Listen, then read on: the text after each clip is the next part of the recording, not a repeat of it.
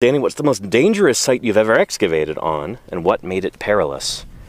Ooh, boy, that's a good question. Um, honestly, the most dangerous thing out in the field is driving.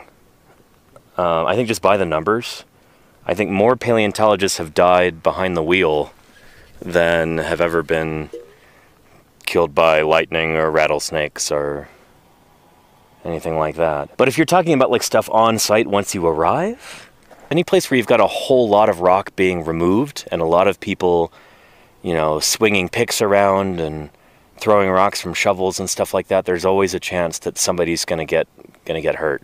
Like I said, lightning, dehydration, but you know, we try to be as careful as we can in a place like this. It's not like we have a hospital next door. There have been times when I've been like clambering up the side of a cliff and then there's just a huge gust of wind and I've almost fallen down. There's been lots and lots of times like that, especially when I'm out prospecting.